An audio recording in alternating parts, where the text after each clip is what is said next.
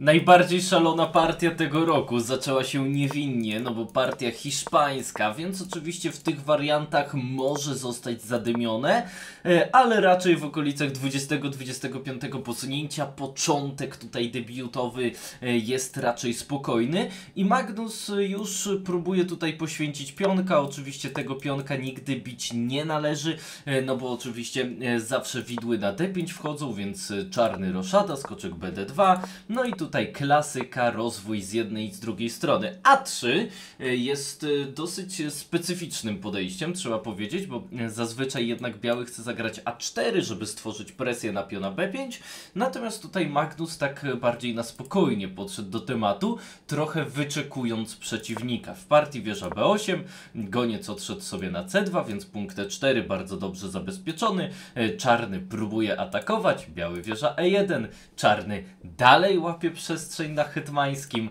e, w partii goniec D3. E, no więc zobaczcie, troszeczkę tutaj można powiedzieć, że Magnus sprowokował przeciwnika, żeby ten wyrwał się tymi pionami. No i zauważcie, że teraz punkt B5 jest fajną słabością, którą można zaatakować. Oczywiście różnie może być, no bo jeżeli kiedyś uda się przeprowadzić B4, no to ten pion będzie dużą siłą, no bo czarny rozpocznie atak, no ale do tego jeszcze daleka droga. W partii goniec d7, no to hetman e2 jest tutaj zwiększana presja, e, po czym Caruana zdecydował się zmienić sytuację w centrum i to była dosyć podejrzana decyzja, no bo można było się tutaj dalej aktywizować, może przygotowanie zagrania c5, żeby później faktycznie to b4 przeprowadzić, Oczywiście e, bicie tutaj na B5 e, no to nie wchodzi w rachubę w taki e, normalny sposób bo skoczek się wtrynia na B3, a później goniec bije D4, e, atakując tutaj hetmana, e, więc e, czarny naprawdę zyskałby na aktywności. Więc w partii bicie na D4, skoczek A5, ciekawa koncepcja.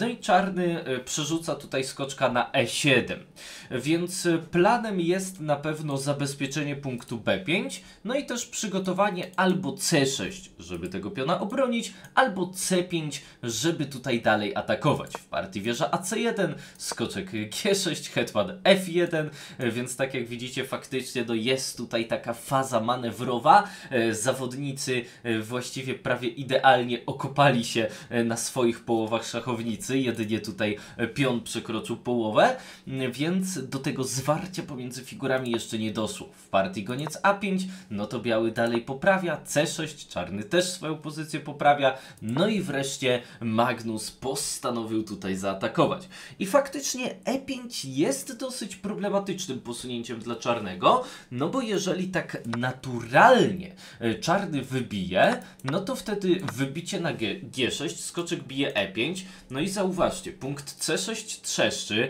punkt G6 tym bardziej. E, ten skoczek na E5, no to jest bestia, super aktywny skoczek, e, więc e, to są problemy po stronie czarnego. Oczywiście komputerek jak zwykle powie, że jest równa, no ale równa, równej, nierówna. Tutaj czarny faktycznie miałby sporo problemów do rozwiązania. No więc Caruana stwierdził, że lepiej nie wybijać na E5, lepiej nie wpuszczać tego białego skoczka na E5 i po prostu zagrał skoczek D5. No ale teraz za to pole D6 jest słabe i tym polem D6 skoczek białego jest tutaj zainteresowany, będzie chciał tam e, wkroczyć do akcji. E, w partii dosyć ciekawa decyzja, bo obiektywnie to chyba trzeba było wybić, wybić na E3, narobić białemu trochę słabości, no i walczyć o przetrwanie, e, licząc na to, że ta para gońców kiedyś się rozkręci. Natomiast Caruana zagrał tutaj wieżę F8, no i przyznam szczerze, byłem w 100% przekonany, że Amerykanin będzie chciał sieknąć na F3. E, to jest zawsze dosyć interesująca idea, żeby skasować tego kluczowego obrońcę e, Białego Króla, no i później e, przystąpić oczywiście do ataku. No i Magnus powiedział sprawdzam, wziął tego piona z D6, no i tutaj właśnie liczyłem na to wieża F3, wjazd hetmana na H4, e, później druga wieża na F8, no i tak optycznie wydaje się, że biały naprawdę ze sporymi problemami. I faktycznie Stockfish potwierdza, że tym sposobem można było tutaj podejść do tematu, że faktycznie ta koncepcja ma tutaj dużo sensu.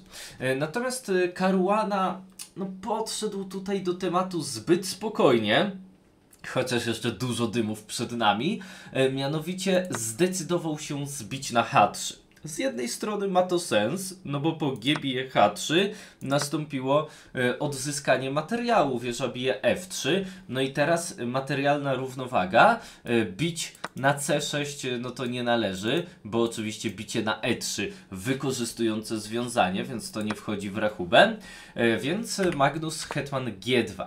No i faktycznie, materialna równowaga jest, ale tu słabość, tu wieża podwisa, tu pion podwisa, naprawdę cała masa problemów po stronie czarnego, no ale obaj zawodnicy zjechali już do 3 minut na zegarze, więc zaczęło się robić nerwowo. Oczywiście e, finały Champions Chess Touru, dodatkowe 3 sekundy za każdy ruch, ale no już zaczyna się robić delikatnie nerwowo.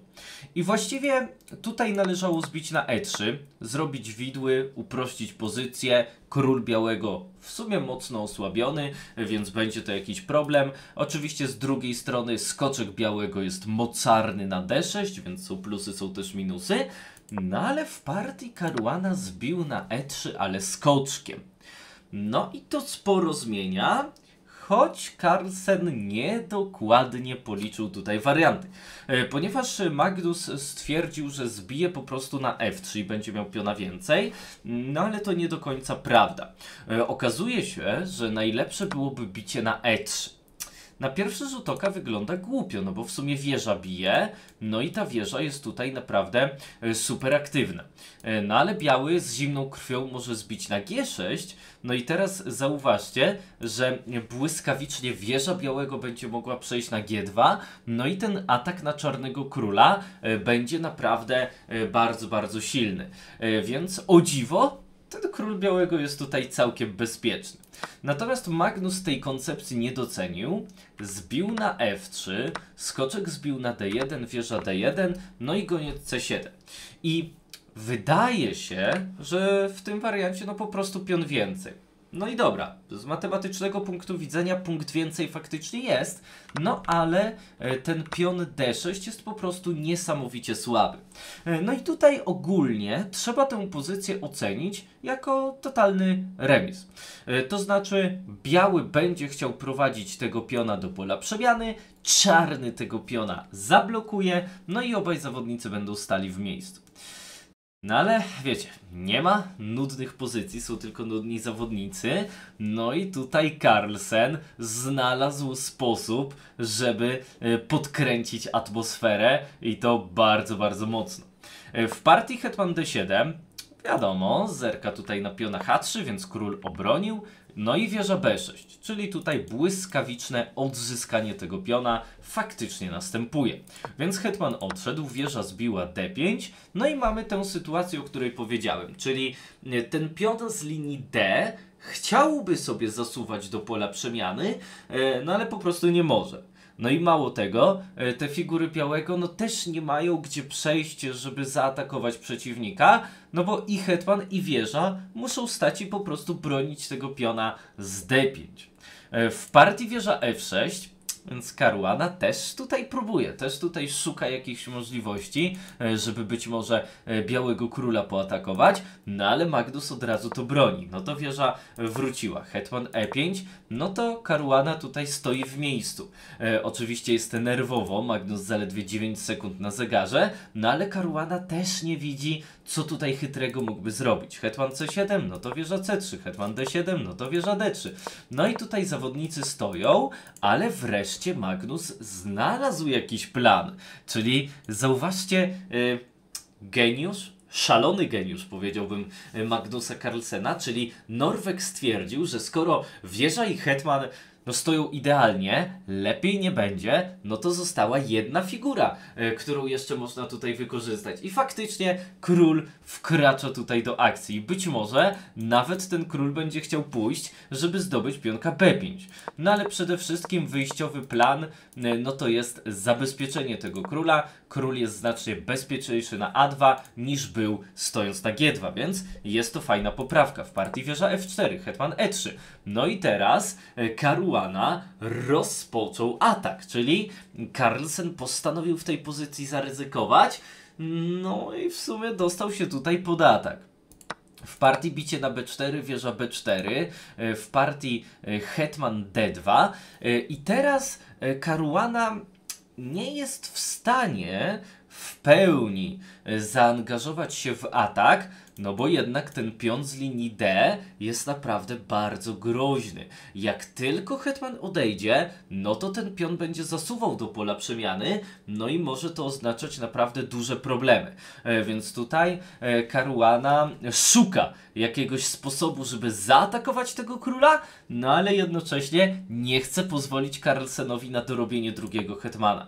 E, wieża B8, wieża D4, Magnus w ogóle tym pionem się zainteresował, no ale wieża za to wkroczyła na B3, no i Caruana kontruje atakując e, piony z królewskiego w partii wieża D3, wieża B8, wieża D4, czyli tutaj już Magnus zaproponował remis przez powtarzanie posunięć, wiadomo, nerwowo, e, więc Caruana odrzucił e, tę propozycję, no i teraz już obaj są w srogim niedoczasie. W partii H4 próba osłabienia czarnego króla, czarny to zablokował, hetman D3, no to wieża tutaj wkroczyła. Hetman D1. No to teraz wreszcie ten hetman znalazł sposób, znalazł moment, żeby odejść z D6, no bo teraz grozi walnięcie na B2, więc tutaj D6 oczywiście e, zagrać nie można. No i teraz Magnus zagrał posunięcie hetman D2, no i nastąpiło, cóż, Coś przepięknego. Na B2 A3, A3 teraz wjeżdża. Oj, piona skubną, ależ tutaj nerwowo się zaczęło robić. Wieża F2. E, no teraz pion z linii D będzie mógł zasuwać do pola przemiany, więc został... A! Do... O Jezu!